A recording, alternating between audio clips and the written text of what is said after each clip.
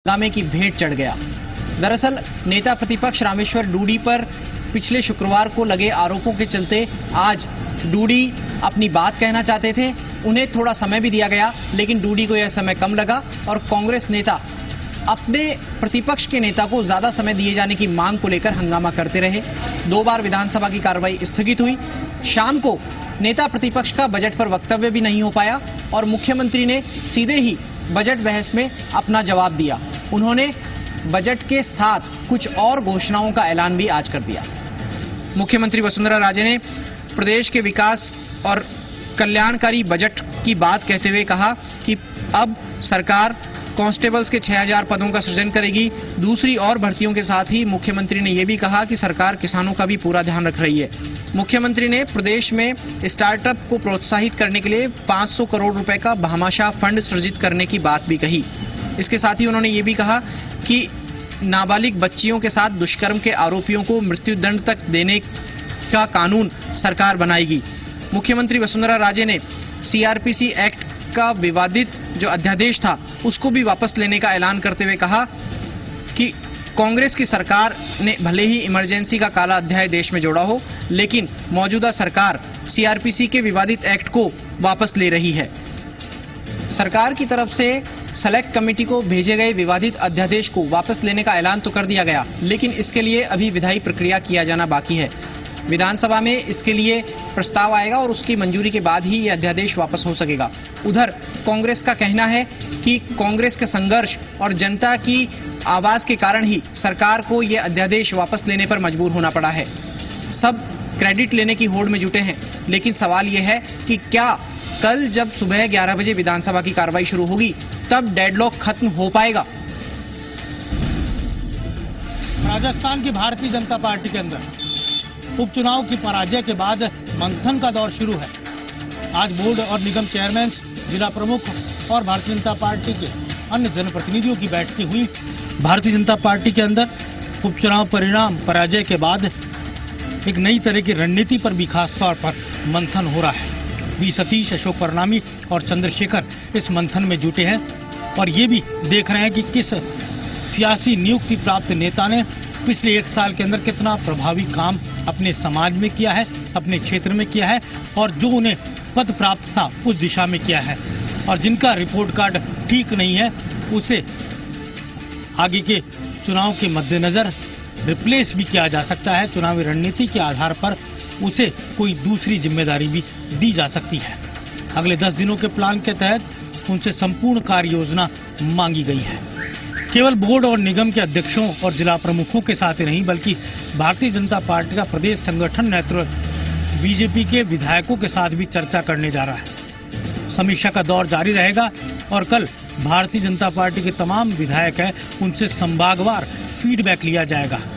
नज़र रहेगी अजमेर, अलवर और मांडलगढ़ क्षेत्र से जुड़े जनप्रतिनिधियों पर। खासतौर से उन क्षेत्रों पर विशेष तौर पर फोकस रहेगा, जहाँ पार्टी खुद को कमज़ोर महसूस कर रही है। ब्यावर गैस सिलेंडर दुखांति का मामला, पीड़ित परिवारों से मिलने पहुँचे पीसीसी चीफ सचिन पायलट। मुआवजे को बढ़ाने और पीड़ित परिवार के एक सदस्य को सरकारी नौकरी की उठाई मांग। ब्यावर गैस सिलेंडर दुखांति का मामले में पीसीसी चीफ सचिन पायलट आज ब्यावर पहुँचे। पायलट ने यहाँ घटनास्थल का जायजा लिया। और बाद में सरकार से मांग की कि इस हादसे में मौत का शिकार हुए पीड़ित परिवारों को पाँच पाँच लाख रुपए की सहायता राशि और परिवार में से किसी एक को सरकारी नौकरी की घोषणा की जाए। इस दौरान प्रशासन द्वारा चलाए गए बचाव और राहत अभियान पर भी पायलट ने सवाल खड़े किए।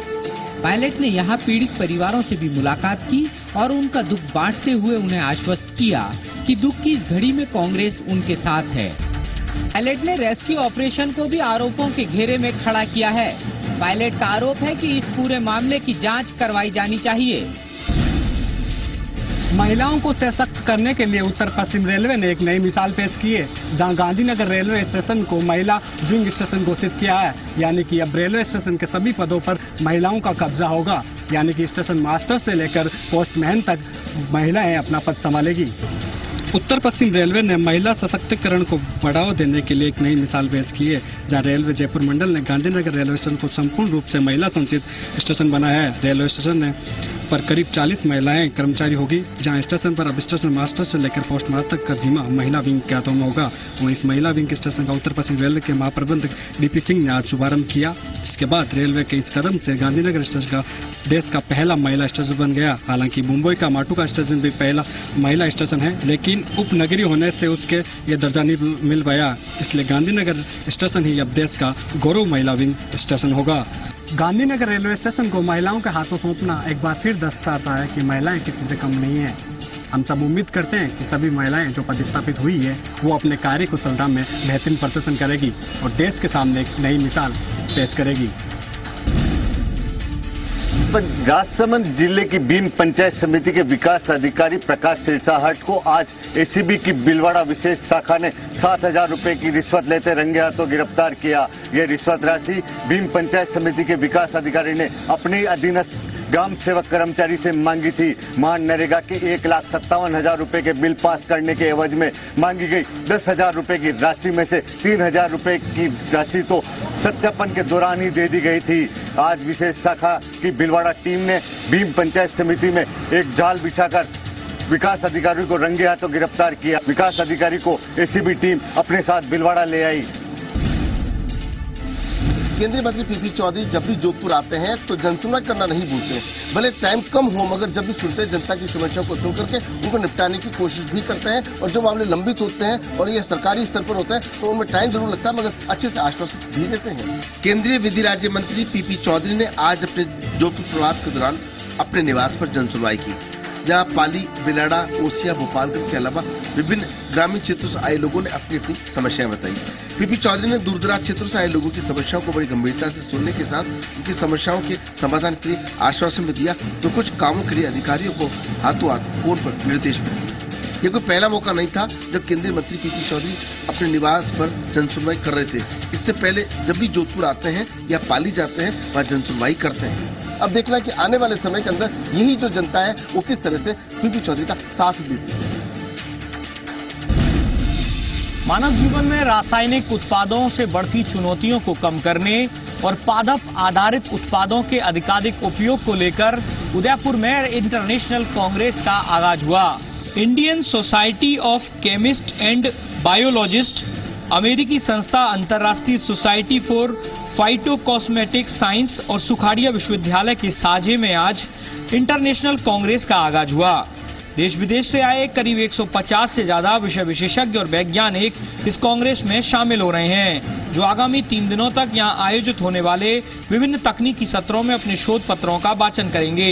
साथ ही आमजन में पादप आधारित उत्पादों के उपयोग को बढ़ावा देने के लिए जागरूकता लाने के लेकर भी महत्वपूर्ण सुझाव देंगे। आयोजन समिति के अध्यक्ष एस डी पुरोहित ने बताया कि इस कार्यशाला में America Israel Thailand, Iran, Egypt, Malaysia और कुवैत से आए वैज्ञानिक विभिन्न विषयों पर अपनी राय रख रहे हैं। इस इंटरनेशनल कांग्रेस के विभिन्न तकनीकी सत्रों में देश दुनिया से आए 150 से ज़्यादा विषय विशेषज्ञ। प्राकृतिक उत्पादों की ज़्यादा से ज़्यादा उपयोग और मानव जीवन में उपभोग को लेकर जागरूकता तय करेंगे। बीकानेर के लून कैंसर से आई आँखों को नम कर देने वाली खबर। एक डिग्गी में एक ही परिवार के तीन लोग गिरे। दो के शव निकाले गए पुलिस मौके पर।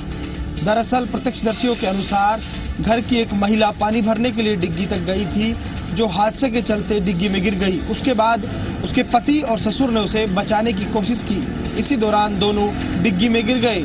ससुर और पत्नी का शव निकाला जा चुका है, लेकिन पति का पता नहीं चल सका है। लूनकर्ण पुलिस मौके पर है। कोशिश की जा रही है कुछ पता चल सके। डिग्गी खासी बड़ी बताई जा रही है और अंधेरा होने के चलते भी कुछ दिक्कत आ रही है। कोलायत के बोलासर में आज ग्यारह हज़ार केवी विद्युत लाइन की चपेट में आने से युवक की हुई मौत। परिजनों ने मोचरी के आगे लगाया धरना, रोड पर लगाया जाम। 25 लाख मुआवजे, सरकारी नौकरी और जिम्मेवार डिस्कॉम अधिकारी को सस्पेंड करने की कर रहे हैं मांग। भाजपा जिला अध्यक्ष सत्य प्रकाश आचार्य, महामंत्री मोहन सुराणा के नेतृत्व में सकारात्मक वार्ता का दौर जारी। विद्युत निगम के अधिकारी भी पहुँचे मौके पर। विद्युत निगम से पाँच लाख रुपए मुआवजा देने पर बनी सहमति। लेकिन परिजन कर रहे हैं 25 लाख रुपए मुआवजे। सरकारी नौकरी और जिम्मेवार अधिकारी को सस्पेंड करने की मांग। फ़िलहाल सकारात्मक वार्ता का दौर जारी है तो वहीं जिम्मेवार निगम के अधिकारी को भी सस्पेंड किया जा सकता है।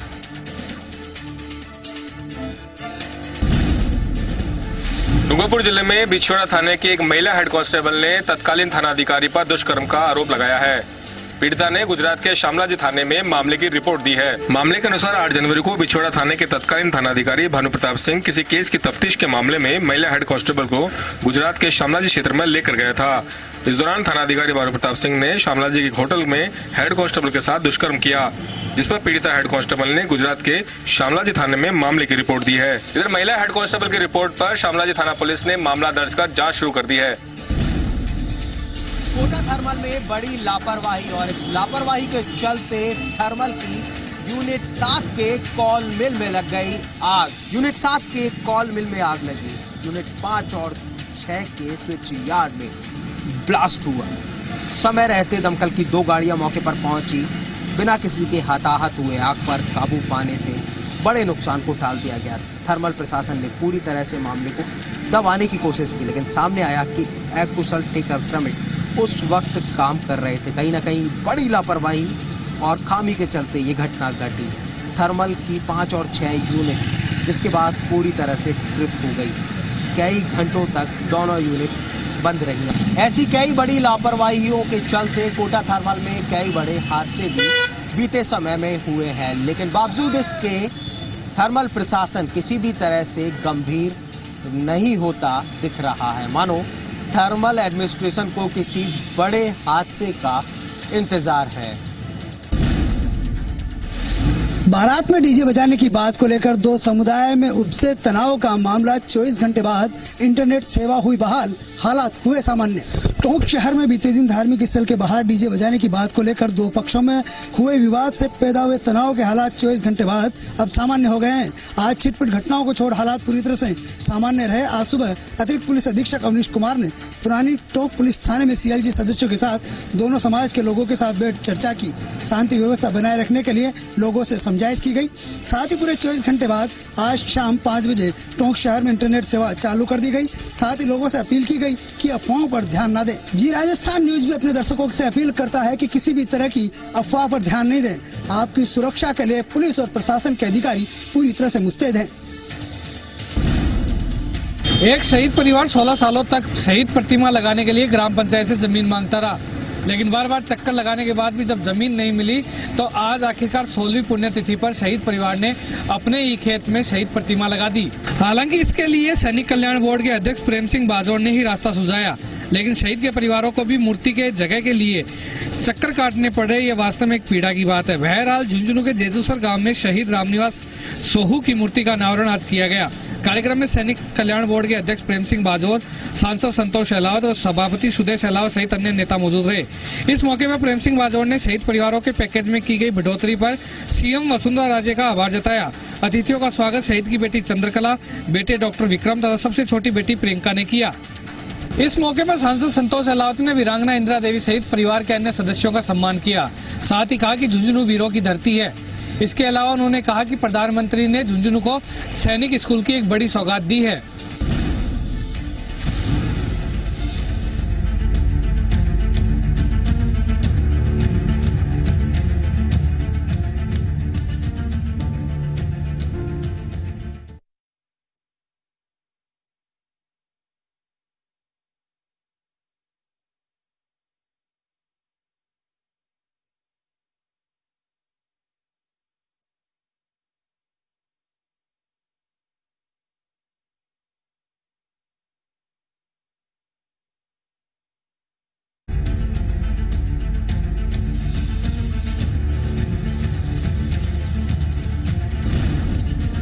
अस्पताल परिसर में धड़ल्ले से चल रहा है अंधविश्वास का खेल। परिसर में मरीज़ पर ऊपरी हवा होने का लेकर किए जा रहे हैं झाड़ फूंक। अस्पताल प्रशासन और स्टाफ मुख दर्शक बनकर देख रहा। बांगड़ अस्पताल में एक युवक को परिजन इलाज के लिए भर्ती कराते हैं। लेकिन गाँव के लोगों ने ऊपरी हवा की चपेट में आने की वजह से तबियत खराब होना बताया, बस फिर क्या था? चिंतित परिजन अपने बेटे की सलामती के लिए कथित भोपे को लेकर बांगड़ अस्पताल पहुँच गए। परिसर में स्थित भूमिया जी के मंदिर पर भोपा आया और परिजनों को अपने सामने बिठा दिया। नारियल के साथ धूप बत्ती और बेवकूफ़ बनाने के लिए मंत्र बोलना शुरू किया। हाथ में धागा लेकर जलती लौ पर सात बार घुमाया और परिजनों को दे दिया कि मरीज़ के बाँध लेना ठीक हो जाएगा। भोपा यही नहीं रुका। बाकायदा मरीज़ को वार्ड से बाहर बुलाया और ट्रोमा वार्ड के बाहर लेटाकर नीम के पेड़ की टहनी और पत्तों से झाड़ फूंक करना शुरू कर दिया। आखिर कब जागेगा अस्पताल प्रशासन? और परिसर में झोला हसाब डॉक्टर और भोपों का प्रवेश होगा बंद। बाड़मेर में आबकारी विभाग की बड़ी कार्रवाई, नेशनल हाईवे नंबर अड़सठ पर अड़तालीस लाख की शराब की बरामद वही ट्रक चालक व खलासी को भी किया गिरफ़्तार। बाड़मेर ज़िले में आबकारी विभाग ने बड़ी कार्रवाई करते हुए शराब से भरा कंटेनर के साथ दो आरोपियों को गिरफ़्तार करने में सफलता हासिल की। जानकारी के मुताबिक मुखबिर की सूचना पर बाड़मेर ज़िले के नेशनल हाईवे अड़सठ पर स्थित माँगता गाँव के पास आबकारी विभाग ने नाकाबंदी की। उस दौरान बाड़मेर से धोरीमन्ना की ओर जा रहे अवैध शराब से भरे कंटेनर को रुकवाने का इशारा दिया तो चालक ने कंटेनर को वापस बाछड़ों की तरफ़ मोड़ दिया। जिसके बाद आबकारी की टीम ने उसका पीछा करते हुए जाखड़ों की ढाणी के पास अवैध शराब से भरे कंटेनर के साथ चालक और खलासी को भी गिरफ़्तार कर लिया। हालाँकि आबकारी विभाग द्वारा कंटेनर की तलाशी ली, इसमें करीब 1200 पेटी अरुणाचल प्रदेश निर्मित शराब पाई गई जिसकी मार्केट कीमत करीब 50 लाख रुपए तक की बताई जा रही है। फ़िलहाल आबकारी विभाग इस जाँच में जुटा है कि ये शराब कहाँ से आई थी और किसको जानी थी और ये किस गिरोह द्वारा मंगवाई गई थी। अपनी मांग को लेकर इंद्रमणि पार्क से कलेक्ट्रेट तक निकाली। रैली कलेक्ट्रेट के मुख्य द्वार पर दो घंटे तक किया विरोध प्रदर्शन। किसानों ने अपनी 25 सूत्रीय मांग को लेकर इंद्रमणि पार्क से कलेक्ट्रेट तक रैली निकाली। कलेक्ट्रेट के मुख्य द्वार पर किसान इस बात को लेकर अड़ गए कि जिला कलेक्टर स्वयं मुख्य द्वार पर आए और उनका मुख्यमंत्री के नाम जो ज्ञापन है, वो यहीं पर आकर लें। दो घंटे तक किसान इसको लेकर विरोध प्रदर्शन करते रहे और फिर उसके बाद ज्ञापन मुख्य द्वार पर ही सस्पा कर दिया। किसानों की मुख्य मांग है कि फ़सल बीमा क्लेम जो बकाया चल रहा है उसका तुरंत भुगतान किया जाए। किसानों की लाभकारी फ़सल है, उसका समर्थन मूल्य घोषित किया जाए। तथा नरेगा को खेती से जोड़ा जाए वहीं संपूर्ण राज्य में शराबबंदी की भी मांग की। आगे सरकार ने समय रहते उनकी मांग नहीं मानी तो मजबूर होकर उन्हें उग्र प्रदर्शन भी करना पड़ेगा। किसान अपनी मांगों को लेकर फिर 22 तारीख को जिला मुख्यालय पर प्रदर्शन करेंगे। शादी की खुशियाँ बदली मातम में, शादी समारोह में हिस्सा लेकर लौट रही कार टकराई पेड़ से। सड़क हादसे में दो लोगों की हुई मौत, पाँच लोग हुए गंभीर रूप से घायल। साधु शहर संग्रिया मार्ग पर गाँव किशनपुरा के पास यह हादसा इतना भयानक था कि कार के परखच्चे उड़ गए और कार में सवार कुछ युवक बाहर सड़क पर गिर गए। इस मार्ग से निकल रहे अन्य वाहनों में सवार लोगों ने बाकी घायलों को बड़ी मुश्किल से बाहर निकाला। मारे गए दोनों युवक आपस में जीजा साला थे।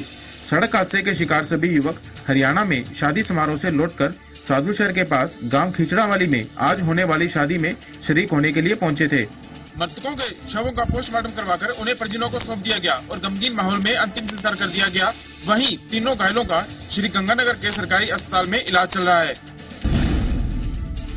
चित्तौड़गढ़ ज़िले के निम्बाहेड़ा में कपड़ा व्यवसायी से 50 लाख रुपए की रंगदारी नहीं देने पर जान से मारने की धमकी देने के आरोपी को निम्बाहेड़ा कोतवाली थाना पुलिस ने गिरफ़्तार कर लिया है। चित्तौड़गढ़ ज़िले के निम्बाहेड़ा कोतवाली थाना क्षेत्र में रहने वाले कपड़ा व्यवसायी छोटे खां से मोबाइल पर पहले मैसेज भेजकर और बाद में कॉल कर वसूली के रूप में 50 लाख रुपए नहीं देने पर जान से मारने की धमकी देने वाले आरोपी अशफाक को निम्बाड़ा कोतवाली थाना पुलिस ने कॉल डिटेल के आधार पर गिरफ़्तार कर लिया है। गिरफ़्तार आरोपी ने रुपए मांगने की बात तो कबूल कर ली है, लेकिन पुलिस मामले में अभी भी चुप्पी साधे हुए है। कुल मिलाकर चित्तौड़गढ़ में रंगदारी मांगने की घटनाओं ने ज़िले में सनसनी फैला दी है। ऐसे में पुलिस का अभी तक रुपए मांगने के पीछे के कारणों का खुलासा नहीं करना पुलिस की कार्य प्रणाली पर भी सवालिया निशान लगा रहा है। अब देखने वाली बात यह होगी कि पुलिस रंगदारी मांगने वालों के खिलाफ क्या कार्रवाई करती है। जालोर का बागोड़ा कस्बा आज पूरी तरह रहा बंद एसडीएम को हटाने की मांग को लेकर किसानों का धरना राज जारी। खनन से जुड़ा है मामला। जालोर ज़िले के बागोड़ा कस्बा आज किसानों के आह्वान पर पूरी तरह बंद रहा। कई दिनों से किसान उपखंड मुख्यालय के आगे धरने पर बैठे हैं। एसडीएम हटाने की मांग को लेकर किसान धरना दे रहे हैं। गौशाला की ट्रैक्टर और टोली खनन से जुड़े मामले में जब्त कर डेढ़ लाख की पेनल्टी एसडीएम की कार्रवाई द्वारा लगाई गई थी, जिस मामले में किसानों में आक्रोश है। किसानों ने उपखंड मुख्यालय के आगे धरना शुरू कर एसडीएम को हटाने की मांग की, जिस पर आज किसानों के आह्वान पर उपखंड मुख्यालय पर पूरे बाज़ार पूरी तरह बंद रहे, बागोड़ा कस्बा पूरी तरह बंद रहा और व्यापारियों ने खुलकर समर्थन किया और बड़ी संख्या में आसपास के दर्जनों गाँवों से किसान धरना स्थल पर पहुँचे और एसडीएम को हटाने की मांग की। कांग्रेस के जिला अध्यक्ष समरजीत सिंह ओम सिंह चांद्राई सहित कई मंत मठों के और साधु संत भी धरना स्थल पर पहुँचे और एसडीएम को हटाने की मांग का समर्थन किया। किसानों के ज्ञापन लेने के लिए तहसीलदार धरना स्थल पर पहुँचे, जिस पर किसानों ने अपनी मांगे रखी और मांगे पूरी नहीं होने पर उग्र आंदोलन की चेतावनी दी।